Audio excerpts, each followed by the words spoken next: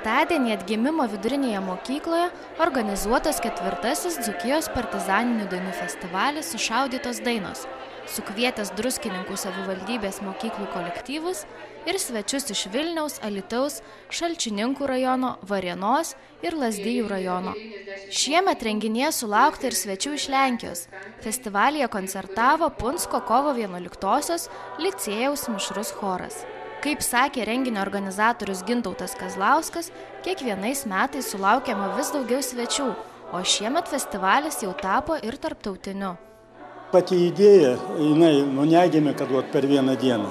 Mes kaip mu muziejininkai laikom savo pareigą išsaugoti tą kultūrinį tokį paveldą partizanines dainas tai kultūrinis mūsų toks paveldas. Ir ne tik jį išsaugoti bet ir populiarinti ypač jaunimo tarpe.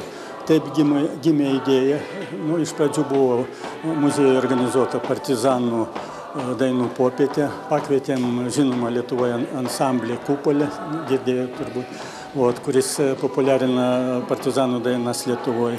Nu ir po šitos popietės kilo tokia idėja, kad reikėtų organizuoti galbūt partizaninių dainų festivalį. Tai 2009 metais tokį festivalį pirmą ir organizavom. Pirmas buvo tuometiniai Mikalojus Konstantino Čiurlionio muzikos mokykloje organizuotas, o po to mums pasiūlė čia, kadangi mes su atgimimo mokykla labai glaudžiai bendradarbiaujame, mes sutikom, nu ir dabar jau čia mokykloje trečias festivalis, o iš viso jau ketvirtas. Tai yra tradicinis, o nuo šio festivalio ir tarptautinis. Renginyje koncertavo dviejų kartų atstovai - moksleiviai ir tremties laikus išgyvenę žmonės. Patriotinių dainų tekstai ne vienam iš buvusiųjų salėje priminė kovas už nepriklausomybę. Anot organizatorių, partizanų dainų festivalio sušaudytos dainos tikslas - pagerbti buvusius Lietuvos kovotojus už laisvę, taip pat supažindinti jaunimą su šalies istorija ir skiepyti meilę bei pilietinę pareigą tėvyniai nu jeigu jaunimas nežinos savo istorijos nu tai kas mūsų laukia reiškia.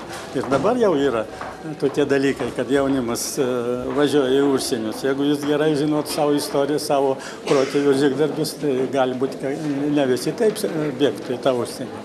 O čia stengtųsi reiškia taisyti tas kas bloga. Yra pradžia tai mes tikimės kad šitas festivalis dar plėsis.